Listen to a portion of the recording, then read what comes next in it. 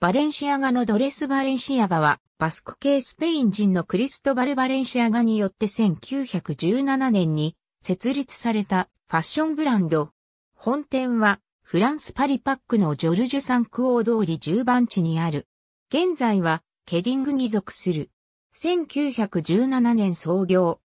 当初はビスケ湾に面しフランス国境に接するスペインバスク州サンセバスティアンに本店を構えたが、1937年にスペイン内戦の影響でフランスのパリパックジョルジュ3区に本店を移転し、それ以来パリを本拠地としている。20世紀前半のモード界では、クチュール界の建築家と評され、1950年代にはディオールと肩を並べる名門に成長した。1970年代に一度倒産の危機を迎えるが、その後復活。1998年からグッチグループに属し、フランスを本拠地とする流通会社 PPR。2013年以降はケリンググループの所有となっている。婦人服を中心に靴、バッグなどのレザーグッズ、宝飾品、時計、香水、ボディローションなどの商品を展開している。非対称な五角形の断面を持つ香水ボトルや、スタッズ装飾のあるバッグ、財布などがブランドアイコンとされる。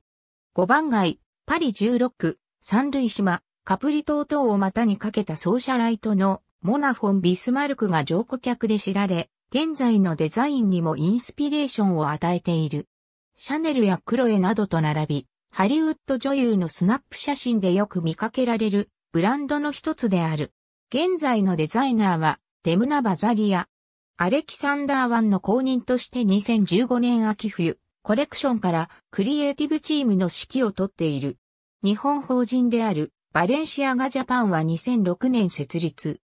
それまで本ブランド製品の輸入販売を主に担ってきたリスターグループとグッチグループの出資によって設立され、2008年以降、全株式をグッチグループ、後に PPR への統合を経て、2013年6月の企業組織改編後は、ケリングジャパンが保有している。ファッションアイテムのほとんどを日本法人が取り扱っているが、セレクトショップへ流通している商品も数多い。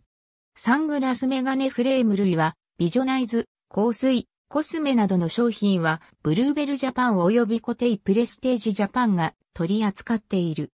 長らく一部のデパートのみの出店で、路面店はなかったが、2014年に日本初の路面店、旗艦店として青山店がオープンしている。2019年には有楽町阪急メンズや新宿伊勢丹などに大規模な売り場ができ店舗は増えている。